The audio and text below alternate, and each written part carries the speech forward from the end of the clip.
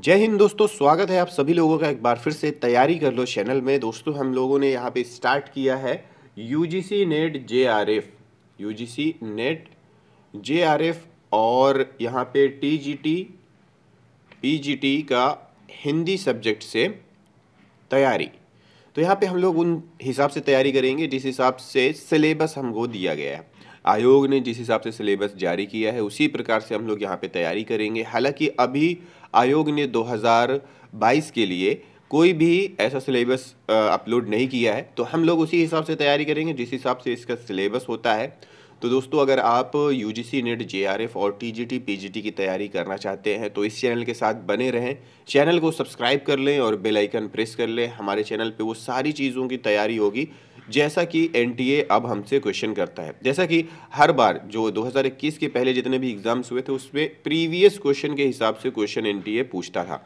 लेकिन इस बार एनटीए ने अपना थोड़ा सा पैटर्न बदला है और उसमें क्या किया है, उसने डीपली क्वेश्चंस बहुत पूछे हैं। जैसे कि निबंध या फिर नाटक है, उसके पात्रों के बीच के संवाद पूछा है। ये पात्र किससे क्या बोल रहा है, ये कथन किसका है, किस पात्र से है, ये पूछ रहा था। और पात्रों के अंदर मतलब जो सिलेबस है, जैसे क्वेश्चंस जो होते थे, वो इस बार डीपली हुए हैं। सबसे ज़्यादा जो उपन्यास से क्वेश्चन पूछे गए हैं तो वो उस टाइप के क्वेश्चंस भी हम लोग यहाँ पे करेंगे। कुछ रचनाएँ हैं, उनको भी हम लोग डीपली यहाँ पे पढ़ेंगे। तो चलिए दोस्तों, शुरुआत करते हैं अपने पहले यूनिट की इसका नाम है हिंदी भाषा और उसका विकास। ये पहले यूनिट की पहली क्लास है तो अभी अगर आप लोग तैयारी कर रहे हैं तो लग जाएँ ताकि हम एग्ज़ाम्स के पहले पहले ये सारी चीज़ें कंप्लीट कर लें। और दोस्तों, मैं एक चीज़ और कहूँगा कि आप लोग अगर तैयारी कर रहे हैं तो सबसे पहले पेन और कॉपी लेकर बैठा करें। पेन और कॉपी लेकर बैठने से ये होगा कि दोस्तों, जो भी इंपॉर्टेंट पॉइंट्स हैं, वो आप अपने नोट्स में कॉपी में लिख लेंगे ताकि आपके नोट्स भी बनते चलें। तो यहाँ पे है कि हिंदी का ऐतिहासिक पृष्ठभूमि। तो सबसे पहले परिचय देख लेते हैं कि विश्व की भाषाओं की संख्या को लेकर विद्वान विभक्त हैं। सामान्यता, इसकी संख्या सत्ताईस से तीन हज़ार के बीच मानी जाती है।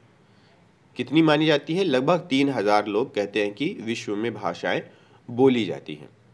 संसार की सभी भाषाओं का अध्ययन दो प्रकार के वर्गीकरण के तहत किया जाता है।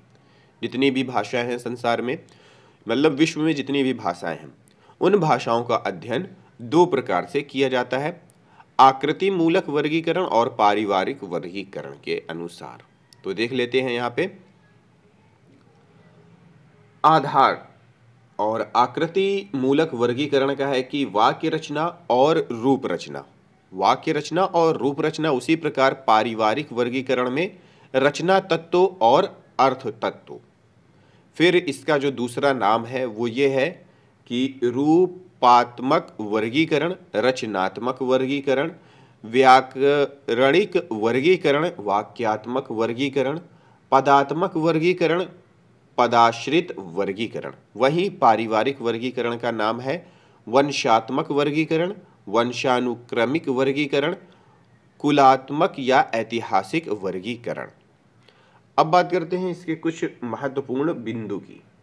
तो विश्व की भाषाओं का आकृति मूलक वर्गीकरण सबसे पहले बार, सबसे पहली बार जो किया था, वो किया था प्रोफेसर स्लेगल ने। किसने किया था? यहाँ पे याद रखिएगा, प्रोफेसर स्लेगल ने। आकृति मूलक वर्गीकरण में भाषा के दो भाग किए जाते हैं, अयोगात्मक भाषा और योगात्मक भाषा। तो एक चीज़ यहाँ पे याद करने वाली है, वो ये है कि विश्व की भाषाओं का आकृति मूलक वर्गीकरण सबसे पहले प्रोफेसर श्लेगल ने किया था। अब बात करते हैं पारिवारिक वर्गीकरण की। तो पारिवारिक वर्गीकरण में निम्न बातों को आधार बनाया जाता है। पद रचना वाक्य रचना, ध्वनि अर्थ, शब्द और स्थानिक समीपन। तो ये हो गया दोस्तों विश्व की भाषाओं का वर्गीकरण।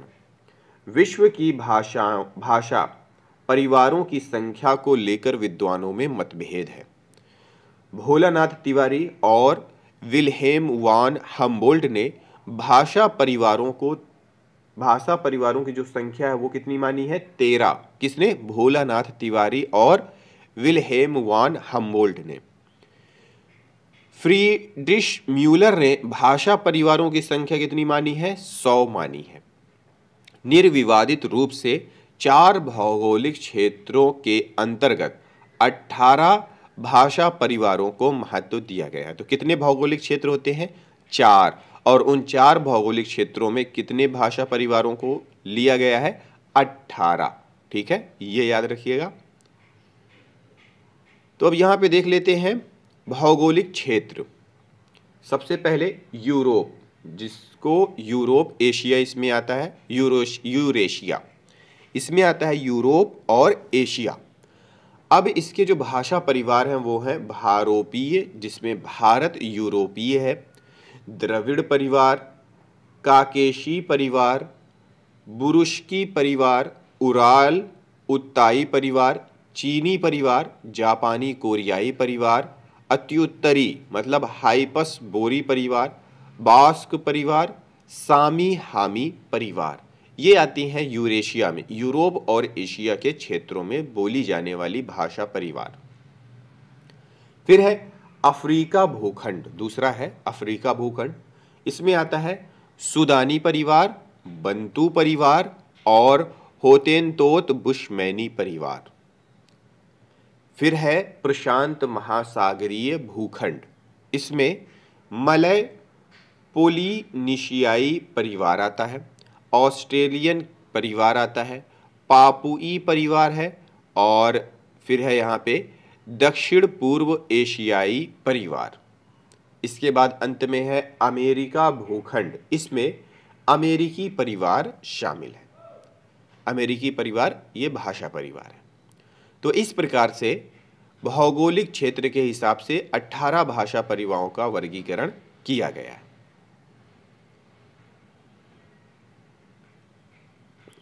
फिर यहाँ पे दोस्तों दिया हुआ है कि भारोपीय परिवार का थोड़ा सा डिस्क्रिप्शन दिया हुआ है। भारोपीय परिवार के अन्य नाम है इंडो जर्मनिक भारत हित्ती परिवार, आर्य परिवार। देखिए, तीन नाम यहाँ पे मिल गए हैं कौन कौन से? इंडो जर्मनिक भारत हित्ती परिवार और आर्य परिवार। ध्वनि के आधार पर भारोपीय परिवार की दस शाखाओं को शतम, सतम और कुंतुम दो वर्गों में बांटा गया। कितने भागों में? दो भागों में सतम और कुंतुम। सतम वर्ग की भाषाएँ हैं, भारत ईरानी, जिसे आर्य कहते हैं। बोल्टो स्लाविक, फिर अर्मीनी और चौथी है अल्बानी इलीरियन। इतने भागों में सतम वर्ग की भाषाओं को बांटा गया है। फिर केतुम वर्ग में आती हैं जर्मनिक, ट्यूटानिक, कोल्टिक, ग्रीक, तोखरी, हिटाइट और इटालिक। भारत ईरानी के तीन उपवर्गों का उल्लेख गिरियर्सन ने किया है, जिसमें पहला है ईरानी दूसरा है दरद और तीसरा है भारतीय आर्य भाषा। किसने किया ये? गिरियर्सन ने, जॉर्ज गिरियर्सन ने। भारतीय आर्य भाषाओं और हिंदी भाषा, भारतीय आर्य भाषाएँ और हिंदी भाषा। तो दोस्तों, यहाँ की अध्ययन की सुविधा की दृष्टि से भारतीय आर्य भाषाओं के 3500 वर्षों के विकास क्रम को सामान्यतः तीन चरणों में विभाजित किया गया है। कौन कौन से चरण है? प्राचीन आर्य भाषा 1500 ईसा पूर्व से लेकर के 500 ईसा पूर्व तक। दूसरा है मध्यकालीन आर्य भाषा 500 ईसा पूर्व से लेकर के हज़ार ईस्वी तक। और अंत में है आधुनिक आर्य भाषाएँ तो हज़ार ईस्वी से लेकर के अब तक। अब इसमें क्या है? भाषा कौन कौन सी है? इसमें प्राचीन आर्य भाषाओं में है, वैदिक संस्कृत और लौकिक संस्कृत। और इसका समय क्या है? वैदिक संस्कृत का है 1500 ईसा पूर्व से लेकर के हज़ार ईसा पूर्व तक। फिर लौकिक संस्कृत का समय है हज़ार ईसा पूर्व से लेकर के 500 ईसा पूर्व तक। वहीं मध्यकालीन आर्य भाषाओं की जो भाषा है, वो है पाली। समय है 500 ईसा पूर्व से लेकर के एक ईस्वी तक प्राकृत। एक ईस्वी से लेकर के 500 सौ ईस्वी तक अपभ्रंश तथा अवहट 500 सौ ईस्वी से लेकर के 1000 हज़ार ईस्वी तक। फिर आधुनिक आर्य भाषाओं में है हिंदी, बांग्ला, उड़िया, मराठी, गुजराती, पंजाबी, सिंधी आदि। इसका समय है एक हज़ार ईस्वी से लेकर के अब तक का। तो ये है आधुनिक सॉरी ये है भारतीय आर्य भाषाएँ और हिंदी भाषा। ये भारतीय आर्य भाषाओं को जो तीन चरण में बांटा गया है, उसका टेबल है। तो ये भी याद रख लीजिएगा, इसमें से भी प्रश्न पूछ सकता है।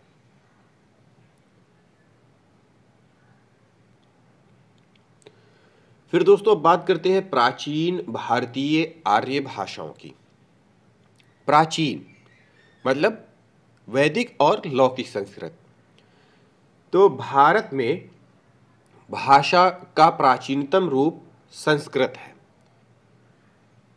भौतिक विशेषताओं के आधार पर इसे दो भागों में बांटा गया है। वो है भाषिक विशेषताओं के आधार पर। दो भागों में बांटा गया। पहला है वैदिक संस्कृत और दूसरा है लौकिक संस्कृत। वैदिक भाषा, इसे प्राचीन संस्कृत भाषा भी कहते हैं। प्राचीन संस्कृत भाषा किसे कहते हैं? वैदिक संस्कृत को। इस भाषा में वेद, वेदांग, ब्राह्मण, आरण्य, उपनिषद लिखे गए हैं। किसमें ये सब लिखे गए हैं? वैदिक संस्कृत में। वैदिक भाषा में कुल बावन ध्वनियाँ, जिसमें तेरह स्वर और उनतालीस व्यंजन है, का प्रयोग होता है। इस प्राचीन भाषा में तीन लिंग तीन वचन और आठ कारक का उल्लेख है। तो वैदिक संस्कृत में कितने, कितनी ध्वनियाँ हैं? कुल बावन ध्वनियों का वर्णन है, जिसमें तेरह स्वर है और उनतालीस व्यंजन है। फिर बात करते हैं लौकिक संस्कृत की। भाषा विकास में, लौकिक भाषा विकास में वैदिक संस्कृत के बाद की अवस्था लौकिक संस्कृत की है। मतलब पहले वैदिक संस्कृत आई, उसके बाद लौकिक संस्कृत आई। इस भाषा को संस्कृत या क्लासिक संस्कृत भी कहते हैं। तो प्रश्न पूछ सकता है कि निम्नलिखित में से क्लासिक संस्कृत किसे कहते हैं? तो याद रखिएगा, लौकिक संस्कृत को। लौकिक भाषा का भाषिक विवेचन सर्वप्रथम पाणिनिकृत अष्टाध्यायी में मिलता है। किसमें मिलता है? पाणिनिकृत अष्टाध्यायी में। इस भाषा में रामायण, महाभारत, अर्थशास्त्र, नाट्यशास्त्र, अभिज्ञान शकुंतलम कादम्बरी आदि प्रसिद्ध रचनाएँ लिखी गई हैं। किसमें लिखी गई हैं ये सारी? लौकिक संस्कृत में। रामायण, महाभारत, अर्थशास्त्र, नाट्यशास्त्र, अभिज्ञान शकुंतलम कादम्बरी वैदिक संस्कृत की चार ध्वनियों के लुप्त होने से लौकिक संस्कृत में 48 ध्वनियाँ ही शेष रह गई है।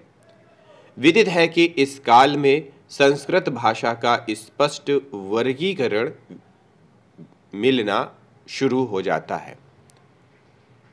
संस्कृत भाषा का स्पष्ट व्याकरण मिलना शुरू हो जाता है। किस काल में? लौकिक, जो लौकिक संस्कृत का जो काल है। फिर आगे बात करते हैं कि मध्यकालीन भारतीय आर्य भाषाएँ। मध्यकालीन भारतीय आर्य भाषाएँ, इसमें पाली। मध्यकालीन आर्य भाषा की प्रथम अवस्था है पाली। पाली को व्युत्पत्ति के संदर्भ में विद्वानों में बहुत मतभेद है। जैसा कि पल्ली से पाली शब्द की व्युत्पत्ति हुई है, पल्ली का अर्थ है ग्राम। इस प्रकार पाली का अर्थ होगा ग्रामीण भाषा। कुछ विद्वान पल्ली को प्राकृत तद्भव रूप मानते हैं। उनके अनुसार प्राकृत से पहले पाइल तथा अंत में इसका पाली हुआ। पाली शब्द की व्युत्पत्ति पाटली पाटलिपुत्र से भी मानी जाती है। इस संदर्भ में पाली का अर्थ हुआ मगध की भाषा। फिर है कुछ विद्वज, विद्वजन, पाली को पाठ को रूपांतरित शब्द मानते हैं। पाठ का रूपांतरित शब्द मानते हैं। पाली शब्द का संबंध पंक्ति से माना गया है। बुद्ध वचनों में जो पंक्तियाँ प्रयुक्त की गई है, उन्हें भी पाली कहा जाता है। और कुछ विद्वान पाली को बौद्ध साहित्य को पालने वाली या रक्षा करने वाली भाषा मानते हैं।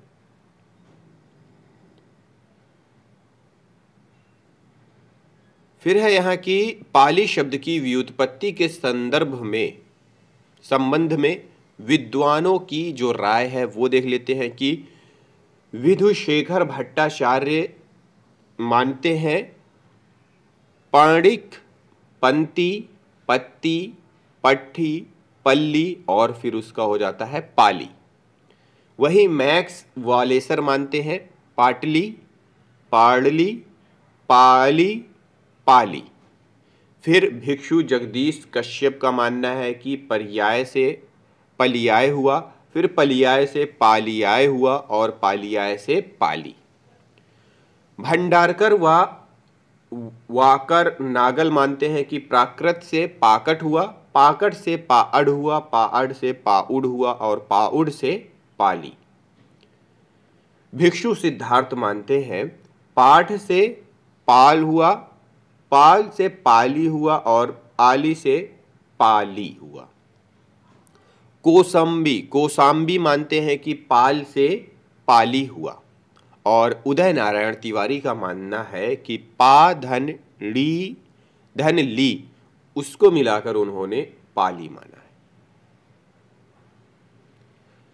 अब बौद्ध धर्म से संबंधित ये तीन महत्वपूर्ण ग्रंथ हैं, पाली में है जो कि सुत्त पिटक बुद्ध के उपदेशों का संग्रह है, इसके अंतर्गत पाँच निकाय आते हैं। पहला, खुद्दक निकाय, दीघ निकाय, मंझिम निकाय, संयुक्त निकाय और अंगुत्तर निकाय।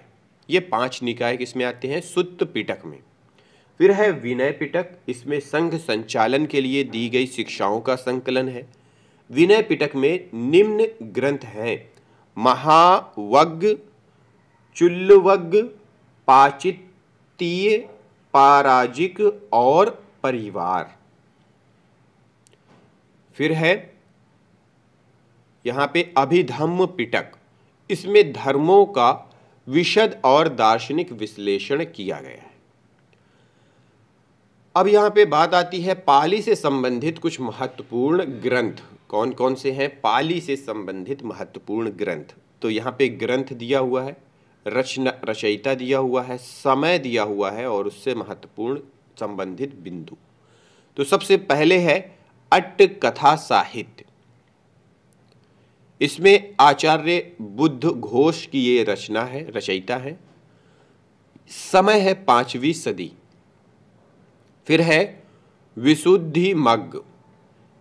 इसके रचयिता है आचार्य बुद्ध घोष, पांचवी सदी इसका समय है। कच्चायन व्याकरण। इसके रचनाकार है महाकच्चायन। सातवीं सदी इसका समय है और इसमें छह सौ पचहत्तर सूत्र हैं। मोगलान व्याकरण। इसके रचयिता है मोगलान। समय है बारहवीं सदी और इसमें 817 सूत्र हैं।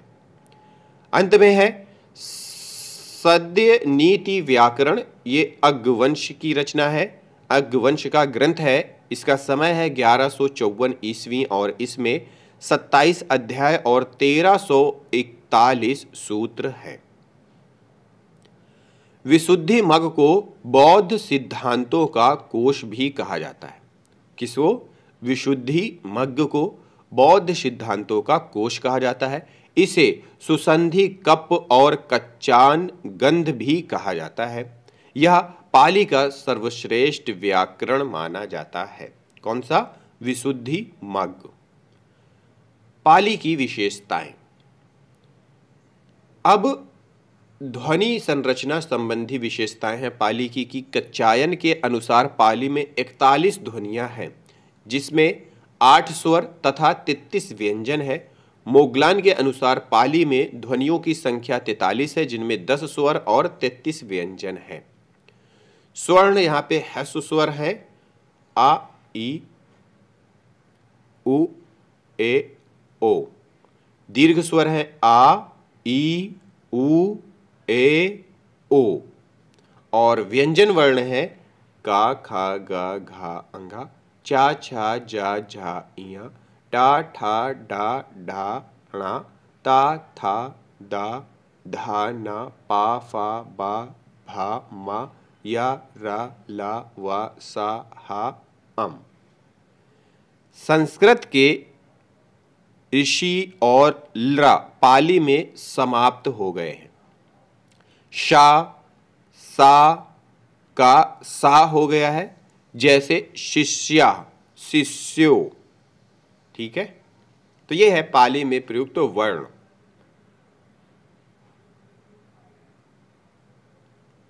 अब बात करते हैं दोस्तों, पाली की व्याकरणिक संरचना। जो इंपॉर्टेंट पॉइंट्स हैं, वही यहाँ पे पढ़ते हैं। तो पाली संस्कृत के नपुंसक लिंग का लोप होने लगा है। पाली में संस्कृत के नपुंसक लिंग का लोप होने लगा है। पाली में संस्कृत के द्विवचन का भी लोप होने लगा है। अधिकतर व्यंजनात् प्रतिपादित स्वरांत होने लगे हैं। इस प्रक्रिया में अंतिम हलंत व्यंजन हटने लगा है या उसमें स्वर जोड़ा जाने लगा है। जैसे, जगत का जग हो गया है, राजन का राज, चल का चल। विभक्तियों और परसर्गों की जटिलता को दूर करने का प्रयास अन्य तरीकों से भी हुआ है। तो यहाँ पे अभी ऐसा कुछ नहीं है जो कि इम्पोर्टेंट हो हमारी परीक्षा से लेकर के। प्राकृत के बारे में देख लेते हैं कि प्राकृत, पाली के बाद प्राकृत।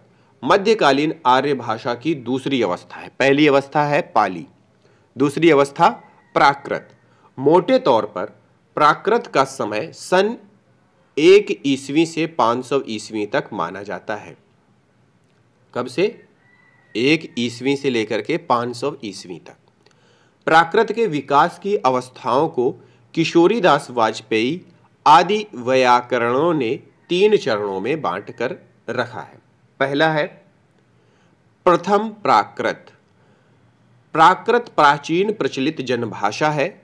नमी साधु ने प्राकृत के संबंध में लिखा है प्राक पूर्व कृतम प्राकृत, अर्थात पहले से बनी हुई भाषा। प्रथम प्राकृत, फिर है द्वितीय प्राकृत।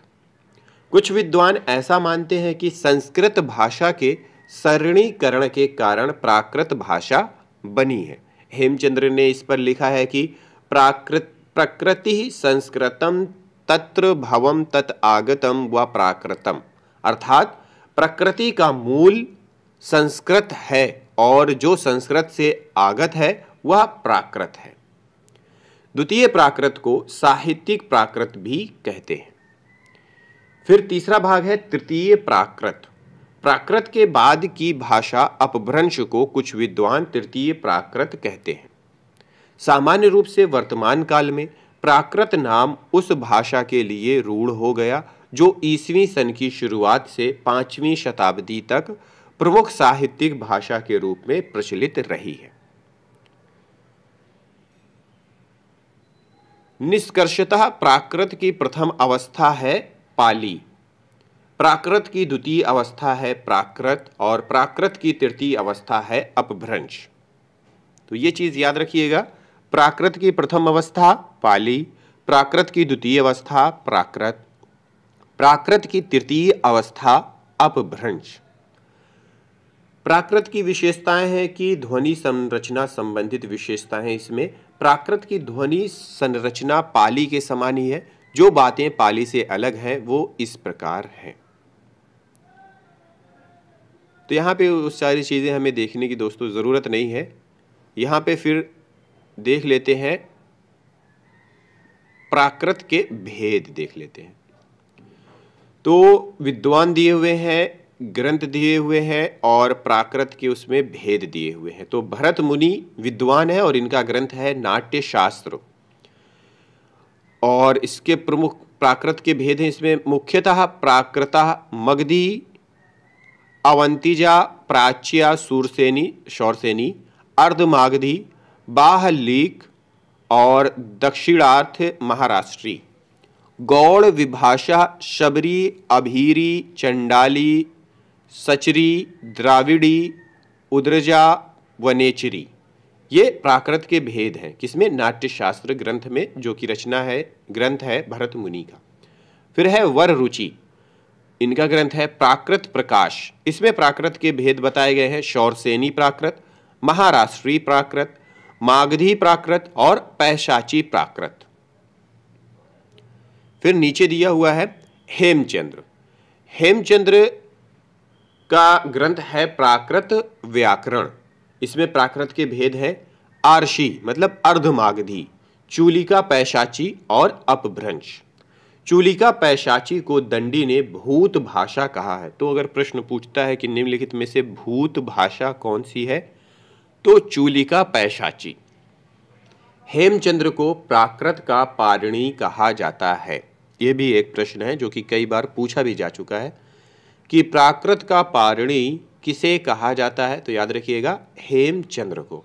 इनका ग्रंथ है प्राकृत व्याकरण।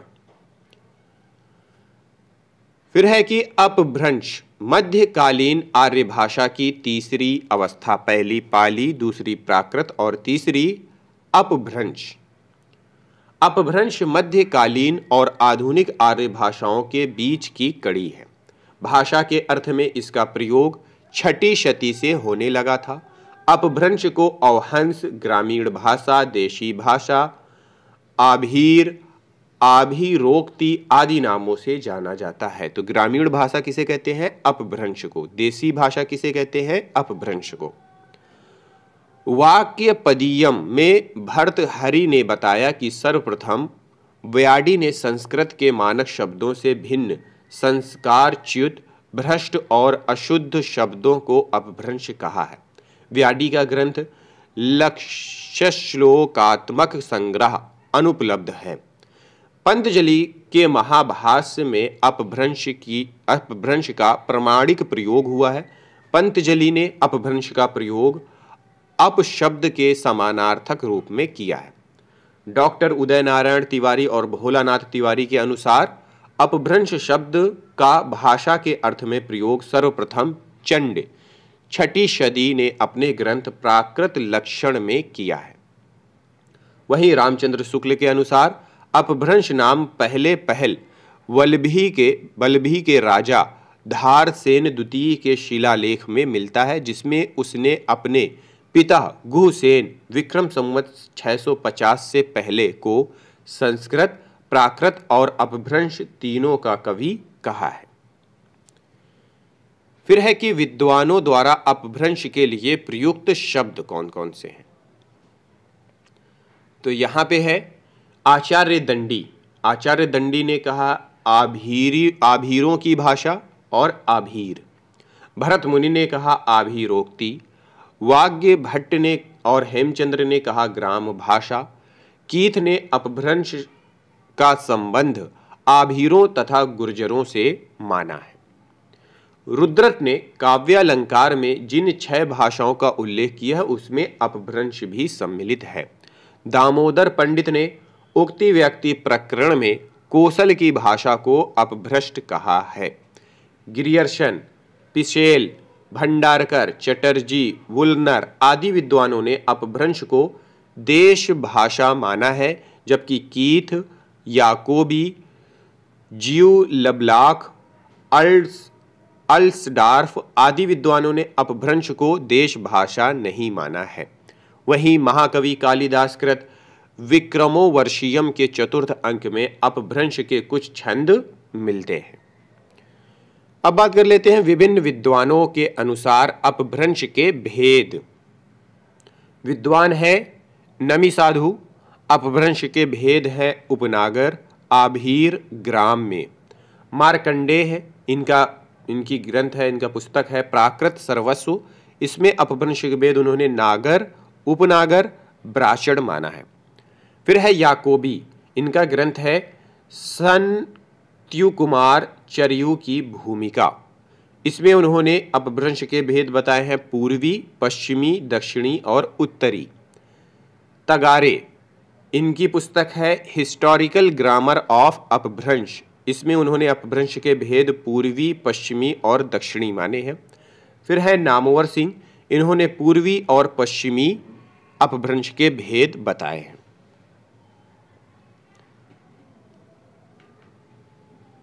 फिर यह है कि इनको यह भी कहा जाता है, नागर को गुजरात की बोली, उपनागर को राजस्थान की बोली ब्राचड़ को सिंध की बोली कहा जाता है। अपभ्रंश की कुछ रचनाएँ हैं पउमचरियु आठवीं सदी रचनाकार हैं स्वयंभू, इसमें नब्बे संधियाँ तथा पाँच कांड हैं।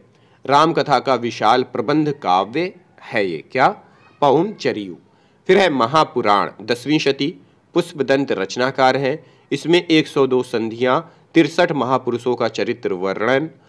इसके दो भाग हैं, आदि पुराण और उत्तर पुराण। फिर है दोस्तों, डॉक्टर हरदेव बिहारी ने सातवीं शती से ग्यारहवीं शती तक के समय को अपभ्रंश का स्वर्ण काल कहा है। तो ये प्रश्न कई बार पूछा जा चुका है कि अपभ्रंश का अपभ्रंश का, अपभ्रंश को अपभ्रंश का स्वर्ण काल किसने कहा है? तो वो कहा है, हरदेव बिहारी ने। ठीक है, और समय क्या है? सातवीं शती से ग्यारहवीं शती के बीच के समय को हरदेव बिहारी ने अपभ्रंश का स्वर्ण काल कहा है। फिर है डॉक्टर सुनीति कुमार चटर्जी और धीरेन्द्र वर्मा ने अपभ्रंश को भारतीय आर्य भाषा के विकास की एक स्थिति माना है। इनके अनुसार छह से ग्यारहवीं शती तक प्रत्येक प्राकृत का अपनी अपभ्रंश रूप रहा होगा, अपना अपभ्रंश रूप रहा होगा। वहीं धीरेन्द्र वर्मा ने यह भी माना है कि प्रत्येक प्राकृत की एक अपभ्रंश रही होगी, इस दृष्टि से वे अपभ्रंशों की पाँच स्थिति स्वीकारते हैं। कौन कौन सी स्थिति है? वो यहाँ पे दी हुई है। शौरसेनी प्राकृत, शौरसेनी अपभ्रंश, पैशाची प्राकृत, पैशाची अपभ्रंश, मागधी प्राकृत, मागधी अपभ्रंश, अर्धमागधी प्राकृत, अर्धमागधी अपभ्रंश महाराष्ट्रीय प्राकृत महाराष्ट्रीय अपभ्रंश। अब बात करते हैं अवहट्ट की। अवहट्ट अवहट्ट भाषा का समय 900 ईस्वी से लेकर के 1100 सौ ईस्वी तक निश्चित किया गया है। साहित्य में चौदहवीं शती तक इसका प्रयोग होता रहा है। अवहट्ट भाषा अपभ्रंश और पुरानी हिंदी के बीच की कड़ी मानी जाती है। ये कथन है सुनीति कुमार चटर्जी का। अवहट शब्द का सर्वप्रथम प्रयोग वर्ण रत्नाकर ज्योतिरीश्वर ठाकुर की ये रचना है, ग्रंथ है, इसमें मिलता है। संदेश रासक अदहमाण की रचना है में अवहट का उल्लेख मिलता है। प्राकृत पेंगलम के टीकाकार वंशीधर ने इसकी भाषा को अवहट्ट माना है। विद्यापति ने कीर्तिलता की भाषा को अवहट्ट कहा है। भोलानाथ तिवारी ने अपभ्रंश और अवहट्ट को एक ही भाषा माना है। अपभ्रंश का विकास अवहस के रूप में हुआ है और अपभ्रष्ट का विकास अवहट्ट के रूप में। कुछ विद्वान इन्हें अवहट्ट का ग्रंथ मानते हैं। ज्ञानेश्वरी, संत ज्ञानेश्वरी की है। राहुल वेल, ये रोड़ा कवि की है। फिर है पुरानी प्रारंभिक हिंदी, पुरानी हिंदी। या प्रारंभिक हिंदी। चंद्र शर्म चंद्रधर शर्मा गुलेरी ने परवर्ती अपभ्रंश को ही पुरानी हिंदी कहा है। तो ये देखिए, जो छोटे छोटे पॉइंट्स हैं ना, ये भी प्रश्न बन सकते हैं। ठीक है? मतलब अब यहाँ पे ये हो गया कि पुरानी हिंदी किसने कहा है? परवर्ती अपभ्रंश को पुरानी हिंदी किसने कहा है? तो याद रखिएगा, चंद्रधर शर्मा गुलेरी ने, या फिर चंद्रधर शर्मा गुलेरी ने किसे पुरानी हिंदी कहा है? तो वो यहाँ पे है परिवर्ती अपभ्रंश को। फिर है आठवीं से नौवीं शताब्दी में सिद्धों की भाषा में हमें अपभ्रंश से निकलती हिंदी स्पष्ट दिखाई पड़ती है। कुछ विद्वानों ने पुष्पदंत को हिंदी का कवि कहा है, लेकिन वे निसंदेह अपभ्रंश के कवि हैं।